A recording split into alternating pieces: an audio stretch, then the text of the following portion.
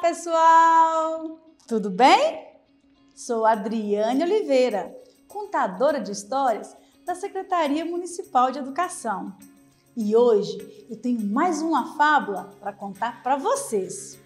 Sabe, gente, eu gosto de fábulas porque elas nos ensinam e nos ajudam a refletir sobre várias questões em nossa vida.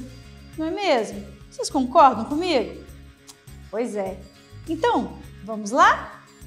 A fábula de hoje é a fábula do porco espinho. Durante a era glacial, quando tinha muito frio, muitos animais morriam por causa do frio. Os porcos espinhos, percebendo a situação, resolveram se juntar em grupos. Assim, se agasalhavam e se protegiam mutuamente. Mas os espinhos de cada um feriam os companheiros mais próximos, justamente os que ofereciam mais calor. Por isso, decidiram se afastar um dos outros e alguns, infelizmente, morreram congelados. Então, os que sobreviveram precisavam fazer uma escolha. Ou aceitavam os espinhos dos companheiros, ou desapareceriam da terra. Com sabedoria, eles decidiram voltar e ficar ó, juntinhos.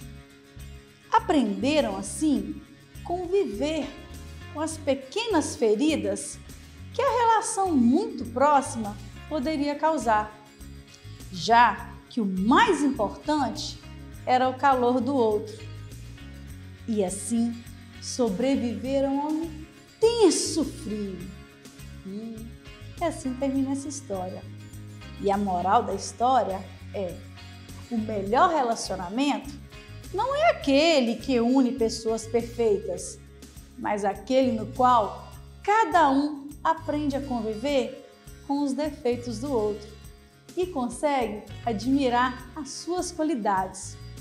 Assim, poderemos nos proteger do frio, do desamor e da indiferença. Vamos pensar nisso com carinho? Hum, vou voltar com mais fábula uma hora dessa, hein? Fiquem atentos! E para acessar nossas atividades na plataforma SMED aponte a câmera do seu celular na imagem que aparece no canto da tela. Acesse nossas redes sociais e se inscreva em nosso canal do YouTube, SMED E eu vou por ali procurar mais fábula, tá bom? Ou outras histórias. Tchau!